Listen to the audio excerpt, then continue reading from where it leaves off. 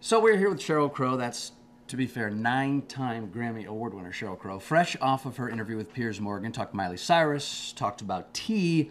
How'd it go in your The eyes? important things. The important things. We covered all Miley and tea.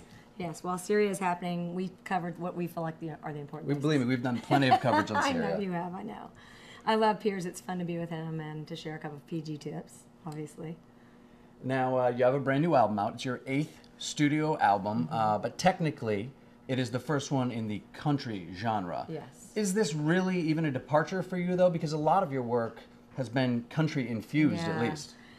I don't feel like it's a big departure. In fact, I feel like um, if my songs were to come out now, all the ones I've had in the Mm-hmm. past, particularly those who've gotten that have gotten played at radio, they would definitely be formatted at country. In fact, the first song I ever had that was a big hit has a pedal steel in it from the very beginning to the very end, and the timing of it just worked out great. Um, I had so much encouragement living in Nashville from artists and songwriters to do it, so I jumped in.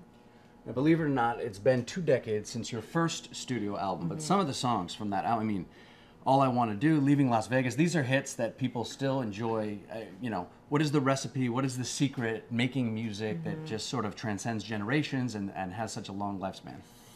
It's so hard to define that. I think if I knew what that was, every album would just be chocked full of songs that and would have would one, and everybody would do it. But um, I think sometimes timing has a lot to do with it. My first album didn't sound like anybody else's album, and it somehow um, seemed fresh to people. And um, I also think that just the human experience, we all experience the same emotions, and that capitalizing on those emotions from loss to disappointment to joy to um, what everything that happens in your everyday life, no matter how it's dressed, it, it becomes relevant for people. So it's just knowing how to create a memorable melody and get to the point.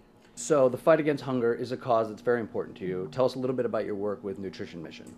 It's Hunger Action Month, and for the last two years, I've been involved with Women's One a Day and the Nutrition Mission.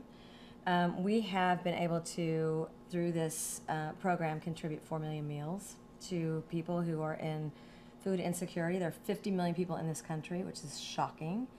Um, we've also donated $100,000 in grants to local communities, and people can go on nutritionmission.com and find out what they can do. It's a great program. Right. We'll put that information up on the website. Um, I can promise that because I run the website. Uh, and you, of course, can see Piers's full interview with Sheryl at 9 p.m. on CNN.